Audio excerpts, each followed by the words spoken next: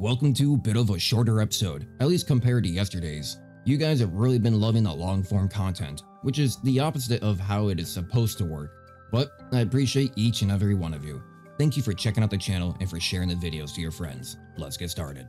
Welcome Digidis to another good look at the Science Update 2 Kerbal Space Program 2 where we've been learning a lot about all the kind of new updates that they've added to the game. They have gotten rid of a lot of the jankiness and a little bit of like tweaking and strengthening to all the different joints and attributes to the of the vessels and science and everything that they've added to the game has been showing nothing but love and support from the development team. So hey, thank you for clicking on the video. Thank you for checking out Kerbal Space Program 2. Thank you for learning a little bit about science. Thank you for learning a little bit about space. And this is episode 2. We did uh, an episode 1 yesterday and we were kind of taking a first look at it and taking a look at kind of learning a lot what the numbers mean and really taking a look at what the science tree has to offer. And we're trying to get to the North Pole, which is probably going to be try to be our primary objective today. It's still trying to get to the North Pole. That is going to be our objective. However, I've thought about something. Because they have not implemented the funds yet, they have not implemented money into the game just yet. This is primarily just a science part of the game.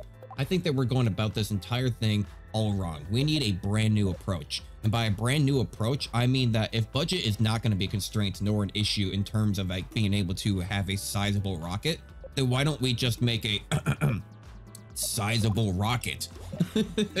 you know, why don't we just make a sizable rocket then? So let's go ahead and take along with, uh, we'll, we'll have our final stage be this little reliant or a swivel engine with a little bit of fuel here for just a little bit of a, you know, kind of actuation capabilities, being able to uh, change your direction with the thrusters and see whatnot. I have a little bit of control over it. We're going to need our parachute. Let's not forget our beautiful, beautiful parachutes that we seem to consistently have issues with because we cannot like slow down in time. They don't like to deploy.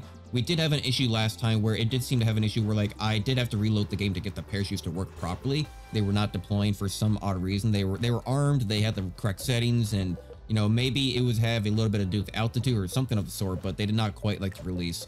So, you know, we not, we want to make sure that we're completely fully encased and ready to go. Let's see, do we have any heat shielding for this thing? I don't think so. So hopefully we're not going to be coming in necessarily too fast because that is going to be is that's going to be something else. I mean, let's may as well just put a couple wings and stabilizers on this thing just so that way we can go ahead and keep this thing stable and go ahead and keep that front side almost looks like a little bit of a plane as well. Again, you know, I mean, honestly, we don't even really need it, but I almost want it just to slow us down as we come into the atmosphere because this could be an issue of, you know, honestly, I almost want a reaction control system going on here.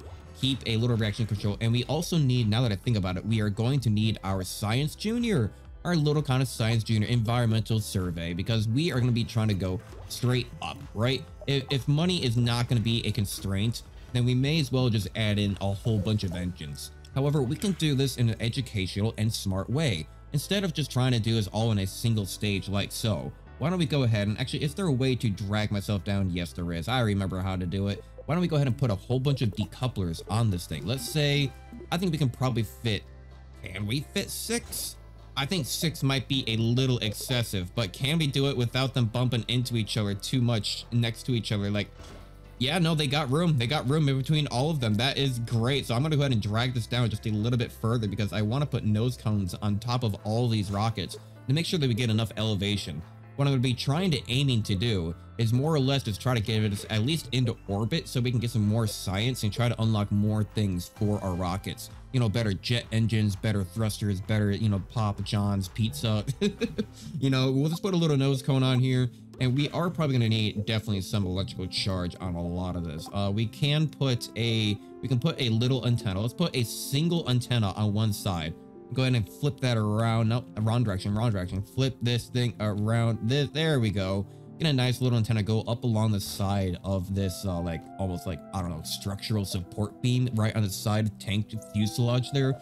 Some good communication because now that we add on some batteries, uh, honestly, I'm just going to add on like I mean, they're not heavy. They're 0.005. So if I add on 80 of these, that's going to be like 0.04 tons. So they may not necessarily be, I don't know if they have aerodynamics to them. Is, uh, I mean, it, it should be fine, but it'll give us a lot of electrical charge to kind of handle what we need to do. So we have these six, we have these six, I'm trying to get the words out. We have these six solid state fuel rocket engines. Basically, they are just a light a candle type of situation and once you light it, they burn all the way out. You cannot stop them, which is why sometimes in rockets they are you know, when they have solid fuel rockets and they launch them, they actually do say light this candle. You know, they have a little bit of comic, you know, relief over in that. So wow, it's crazy. Or you know, other space agencies, but um, you know, so quirky. But uh, yeah, so they love they go all the way out. So I want all these six to expand themselves, detach, and then I'm going to use the center core to maybe circularize myself. Use this one to kind of give myself some more horizontal velocity. And then on top of that, we're going to decouple and then we do have, we need to kind of put, let's see here. We need to put this engine. Yeah, now here we go. Put this engine into a stage of its own. Beautiful. So now we do have the Science Junior. And, you know, where is the Science Junior? I don't want these batteries to be in the way of it. So, you know, why don't we go ahead and do something where actually take these batteries and put them down there where they're going to be kind of part of the shroud, I suppose. I don't know if I can maybe fairing enabled. Yeah, so now if I can maybe do something like this where I attach them onto the bottom side, yeah. I guess that kind of works. Can I enable the fairing again? Yeah, they fit inside. Beautiful. Oh, now that's that's what we're talking. That's that's pod racing right there. That is a true design. Honestly, I'm feeling pretty confident about this type of design. Why don't we go ahead and just give this thing a good old launch? And I love how we still have our little flag right there at the bottom from when we planted it in the first episode down here in the on our very first science on the landing pad. All right, well, let's get this thing a go and see how well we do. Can we just go straight up, then go sideways and get enough orbital velocity to actually orbit? Because then we can get a whole bunch of science for this, you know? Let's go three, two, one, go. yeah. Honestly, we might get a lot of speed now that. Now that is looking good. Look at that center just launch all the way up. Let me go make sure we stay on prograde. Our electrical charge is doing good. We're at 841 out of 850, so we're already through some of it because we do have a lot of reaction control kind of. Oh God, we're tipping, we're tipping, we're tipping, we're tipping, we're tipping, we're tipping. Stay with it, stay with it, stay with it, stay with it, stay with it. It is giving us horizontal velocity. It is kind of giving us a 45 degree inclination, which is going to be great for actually putting us into an orbital trajectory. But uh, that sounds like a lot of words, but you know, it's it's actually not bad. We were falling over there, but uh, you know what? Hey, that that works. Run environmental survey. There we go. Okay, we I, I ran out of uh, fuel, so detach you. I want them to move away a little bit. Run crew observation.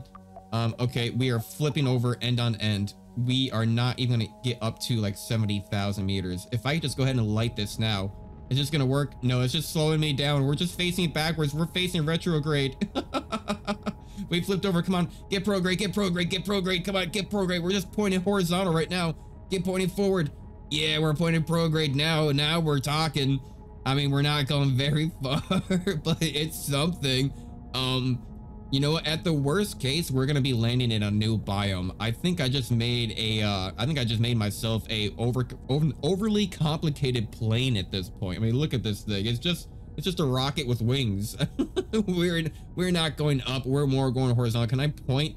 I want to point a little bit more up. Let's just point up, up, up, up, up, up. Come on. Okay, detach. Um, we're not def we're definitely not gonna get into orbit. Come on. Come on, let's let's do uh radial out, radial out. That should be out. We actually did. We actually did.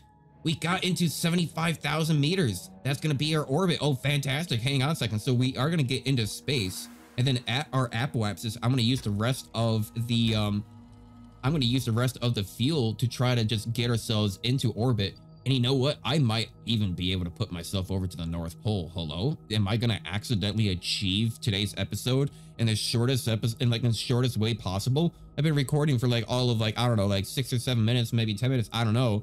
But like, and I'm already gonna be done with it.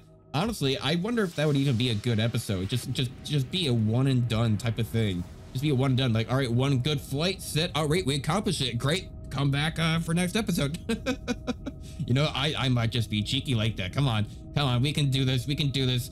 I don't have, you know, it's not gonna be a plane though. I don't have any, I don't have any wheels, which is disappointing. Um, I'm gonna go ahead and actually overshoot it a little bit because the atmosphere is gonna slow us down by quite a bit. I want to do, I want to do normal because I believe normal points to the left, right? So if I go ahead and do this, it's gonna change our inclination to the left-hand side. Yeah, now we're talking, and I have run out of fuel right there, actually. Okay, so I can't, I don't have a decoupler, and I don't have wheels, but I do have parachutes, and that's what's important. So I may as well go ahead and transmit this now while I have all this electrical data, or electrical charge, because it really wants me to. Just go ahead and get that down to the station. That way, even if we do end up losing this craft, we, uh, you know, we can at least, you know, make sure that some of the science did get back. We are up in space now, not really a whole lot because we aren't much further than we have been before from last episode. May as well just gonna transmit all this stuff. I don't think I'm even really transmitting any science though. It's like just zero. you know, I'm just transmitting zero. Maybe it's like 0.12 like type of science type of situation. I mean, hey, it's something. It's something. I mean, we are still up in space. We're at 73,000. We are dropping down. Let me see if I can get enough time to get out here, run a observation. Yeah, I think we got enough time. More than enough time. Uh, get rid of that. What is our observation time running? We were at two seconds. Beautiful. Get a little bit of science. Yeah, now board back up. Oh god, so many, so many sounds. Transmit that. Yeah, we're still getting like zero science here because we already did this last time. That's fine. We are going to be landing on the North Pole. That is going to be probably some good science. Uh, let's go ahead and point back towards prograde. We are we going to be able to fly this thing at all? Should I just go retrograde? do I want to come into this thing tail first or do I want to come into this thing nose first? You know, that's uh, because I might accidentally increase my distance instead of like decrease. And I want to land. Yeah, I'm going to go. I'm going to go retrograde. I want to make sure I land in the North Pole, right? So I'm going to go ahead and go retrograde, make sure that we kind of get some backwards momentum. Because with the wings, we could actually give ourselves a little bit of lift to bounce off of the atmosphere and go even further than the North Pole, but we're trying to kind of land right in the North Pole. I honestly may have been able to put me into a orbit if I used all of my fuel. I don't know if I necessarily would have had enough to get myself out of orbit, you know? I think that would have been a problem. All right, let's go ahead and get take a look at the ship. We are dropping down into the atmosphere now. We are at 54,000, 50,000. Come on. Uh, yeah, we're pointing retrograde. Nice. We are on time acceleration. Let's go ahead and actually slow down time. We got this. I want to make sure that we make, yeah, just come on. Let's land in the snow. Oh, look at that. Look at that sight, though. We even got the ship with the moon in the background rising up over the horizon. It's meant to be DigiDeez. Honestly, if you're liking the episode, again, make sure to leave a like on the video, comment down below, subscribe, all that fun stuff. We are waiting for the competition week to actually complete right now because last week we had a competition week saying that all the videos are going to run for one full, like one full week. And the episodes that get the most views and interaction will get a full week of episodes made out of that game. And right now, I believe Astroneer is in the lead. So if you want a different game to, you know, win, if you, you want to see, check out all that content, make sure to go check it all out. If you want it to win, you have to share it around, try to show other people, get the content spread around. So that way, you know, it gets more views, gets more interaction, more comments, all that fun stuff you know, that all that cool things, all those cool gadgets and whatnot. But uh, yeah, so if you want one of those, you know, favorite, you know, games of yours to maybe win, make sure to share it around. So we are actually coming in here real hot. And my God, look at that is a beautiful, that is, this game really is something special, right? It is, it is glorious. It's such an improvement from Kerbal Space Program 1. Like, you know, the first game, it is you could use a lot of mods, but like the base vanilla game, you know, wasn't very appetizing to the eyes per se, you know, to put it lightly. We are actually coming in pretty hot. Oh my God. Oh, no, no, no, no, don't, don't flip, don't flip, don't flip. Oh, don't flip. Oh, we lost the wings. We lost the wings. Okay, let, us um, uh, I did not, crap. Okay, well, we flipped. That is not good because we are going to be struggling to slow down now without having anything to really to slow down and also to cool down because we're coming in really hot. We're coming in actually really, really hot. That temperature gauge. No, no, no, no, no. I gotta keep on twisting around. Uh, we, we are slowing down. We're slowing down quite a bit. Slowing down quite a bit. We still have more than enough time to cool down. Come on. I'm trying to twist around a little bit to spread the heat around and also get us a little bit more surface area to maybe slow down faster. The faster we slow down, you know, the less we're going to heat up although technically speaking, the faster you slow down, the harder you're hitting the atmosphere, the more you'll heat up. But I think we're doing good. I think we're doing good. We got a little bit of a Mach diamond back here with kind of how it's like coming back in on itself and hitting the atmosphere around the tail end of the rocket. We're doing good. Okay, fantastic, fantastic. Okay, so now we need to, uh, we still need to slow down. We still need to slow down in general. Let's pull up the drogue chutes. Ooh, baby. Yeah, come on, come on. You're doing good. You're doing good um, you guys don't need to deploy until like a thousand meters, I say. You know, don't bother until we get it to about there. And same for, I think this parachute doesn't deploy until a thousand meters either. Okay, nice. Yeah, they're they're dragging us. They're dragging us. We're coming in towards the Arctic Circle. Oh, look at that. Beautiful. Oh, that is such a sight. Um, that is such a sight right there. I want to make sure that we get environmental survey stuff. I don't know if we actually need it here. No, we're still just in the atmosphere. That is beautiful. My God. Coming down into this very mountainous region. very mountainous region. Dropping down below the cloud line, the cloud layer, into the atmosphere. The parachutes are starting to open up and deploy. Ah. I mean, this game, it really is. They have done a they have done a grand job. It may be a little buggy, may be a little tweaky around here and there, but you know what? In terms of like graphics, you've done a great job. In terms of like the game's feel and keeping the style without, you know, losing too much to like, you know, the new age of like trying to be refined in terms of like, you know, in the art in general and graphics. You know, I think they did a really good job. I am a little worried about our landing location here. Um, it looks like we're gonna be landing kind of on the side of a mountain in a ravine a little bit. I can tell there's a little bit of a curve to this. I honestly, I did not plan for us to get to this to get to the polar region so quick. I, I thought this was gonna be like a, uh, you know, a, a maybe like an hour long episode and I was gonna cut it down to like 30. Oh, that is, yeah, that was coming in fast. that was coming in fast. Scraping. We're, you're good. You're good. You're good. You're good. Yep, you're good. It'll buff right out, Captain. It'll buff right out. Don't worry. You're good. We're slowing down. Just slowly scrape your way down the mountain. Don't you worry. Uh, we have some science that we can do. we have some science from the ground. Why don't we? Um, yeah, sure. Run environmental survey. My God. Why is that such a loud little ping? Transmit all. There we go. My God. We are slowing down. We have slowed down. The parachutes have cut themselves because we slowed down enough. I am worried about about standing outside.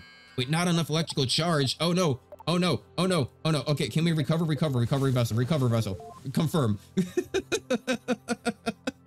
vessel recovered. That was about to get bad. We were about to start rolling down this mountain and probably blow up. I I am not about to do that. We just got our science. Okay, how much science did we really get? Let's go to the Research and Development Center. We got 18. We got 18 science. We got barely anything.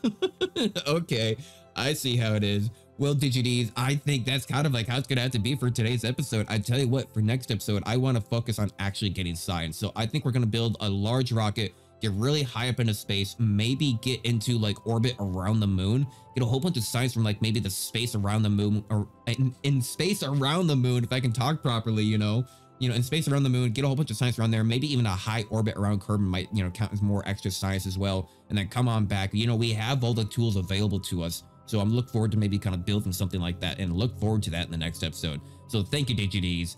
I still don't really know how to do any of these outros, but if there's one thing I can always guarantee you, is I'll be able to see you guys in the next episode.